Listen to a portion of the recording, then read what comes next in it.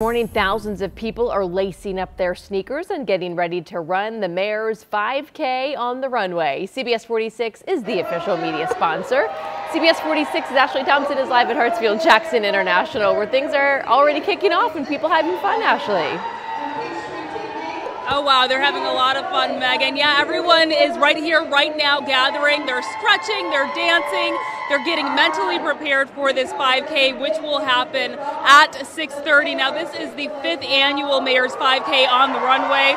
This race is a Peachtree Road race qualifier. Everyone has one hour to complete the race because we are at the airport and the runway must be cleared by 7:30. Now, proceeds from this race will go to the Mayor's Youth Scholarship Program and United Way of Greater Atlanta's College Bound program. Both of these programs help students overcome financial barriers, keeping them from getting to and through college. So it is indeed a very good cause. And CBS 46 is the official media sponsor of the 5K. Now we have many of our talent out here, reporters, anchors, people behind the scenes. They will be running as well as cheering on other participants.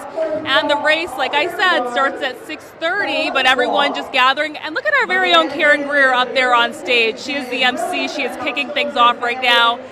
And like I said, everyone just getting ready, mentally prepared, just out here having a good time.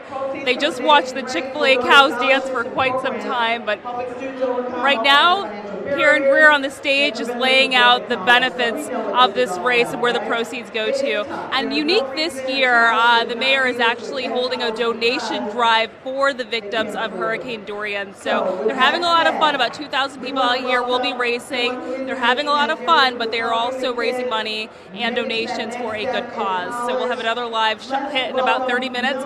For now, I'm live in Atlanta. Ashley Thompson, CBS 46 News. Yeah, everyone's looking great. So happy to see so many of our team members out there.